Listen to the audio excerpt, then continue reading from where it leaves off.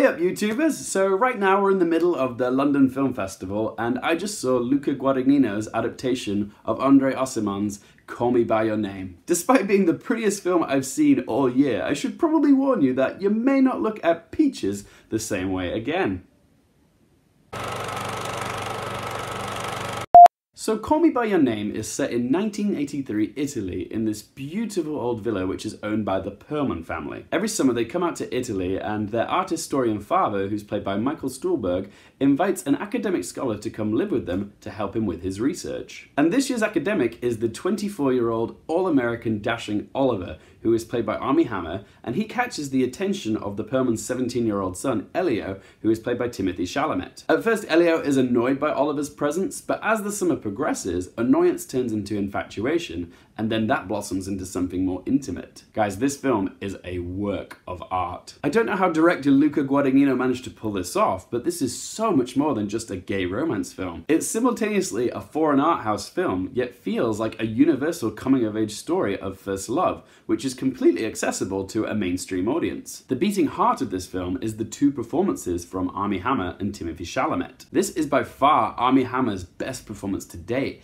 and that's probably because James Ivory's screenplay has so much depth with its characters. Oliver is intelligent and a little bit cocky, but there's also an air of vulnerability to him which I've never seen Armie Hammer do before. This could potentially land him an Oscar nomination, he's that good. And Timothée Chalamet is also mesmerizing as Elio. As we watch Elio wrestle with the complex emotions of young lust, jealousy, and sexual awakening, it's extraordinary how Chalamet's performance completely embodies that idyllic yet confusing time in life. It's so natural. And their chemistry is something else. What makes it feel so authentic is just how nuanced it is. There's no room in James Ivory's script for obvious flirtation. It's all tiptoed nuance, which suggests desire through subtext. Watching their relationship in this film is a bit like watching a fire. At first you see the kindling, and then you see the spark, and then you see it ignite and it slowly catches fire, and then it cracks and it snaps, but it's hypnotic to watch. It's passionate and it's sensual, and that fire imagery is something that's used in the very final scene of this movie. This film is dripping with sensuality, and what helps is the gorgeous picturesque setting in Italy. The sun-kissed swimming holes, the bike rides through the small villages,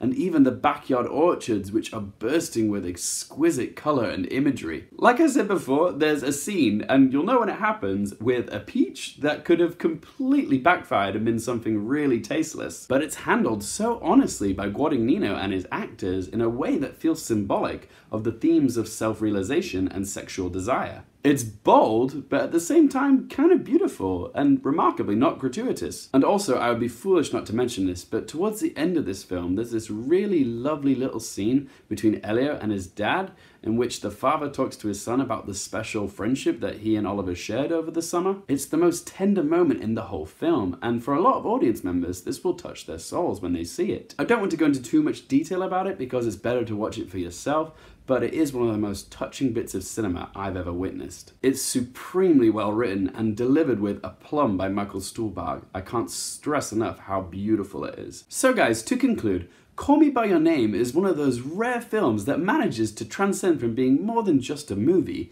It's a feast for the senses because of its immaculate detail and careful craftsmanship. You can practically smell the apricots and the cigarette smoke when you watch this. Everything about this movie is beautiful the performances, the writing, the cinematography, the direction, the setting, the score. It's a film that touches the heart and the soul, and it's just an achingly bittersweet film. So guys, I'm gonna give Call Me By Your Name a 10 out of 10. Make sure you go catch this one, all right? So quick question guys, it's a bit of a niche question because not everyone's gonna have one, but what's your favorite gay romance film? Be sure to let me know in the comment section below. And if you have seen Call Me By Your Name, let me know what you thought of this film. I'm quite curious to hear what people think about the peach scene. So yeah, thanks so much for watching guys. For more things related to movies, TV, and popcorn culture, I'm Luke Hearfield, and I'll see you next time.